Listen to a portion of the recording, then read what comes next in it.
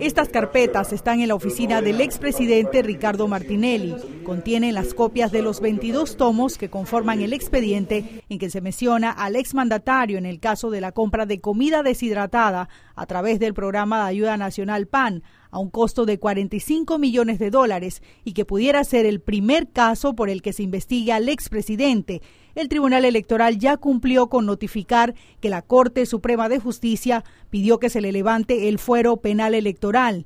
Dimas Guevara, que es uno de los abogados de Martinelli, explicó el paso que sigue. En este momento entendemos que han ido dos veces a notificarlo a la sede del Partido Cambio Democrático y posteriormente se ha establecido un edicto emplazatorio para que él comparezca a notificarse formalmente ante el Tribunal Electoral, hacer valer su derecho como persona afectada en el levantamiento en su cargo de diputado.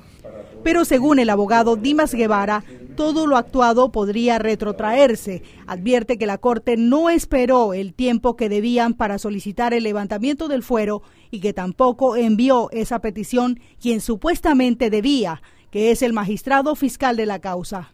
Hemos anunciado que existe una ilegalidad en el trámite al ser remitido una actuación por parte de la Corte Suprema de Justicia sin ni siquiera haber estado en firme la decisión que ordena el inicio de investigación del expresidente Ricardo Martinelli. Mucha inquietud genera que el expresidente sigue sin regresar al país. El ex magistrado de la Corte, Edgardo Molino Mola, dice que para investigarlo no es necesario que esté. Debe venir, pero si no viene, eso no interrumpe la investigación.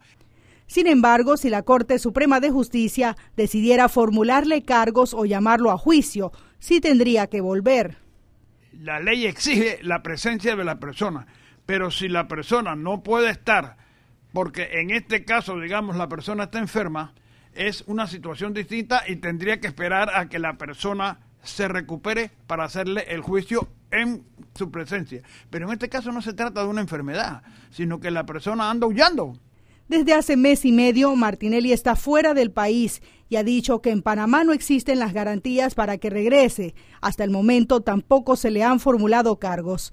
Elizabeth González, TVN Noticias.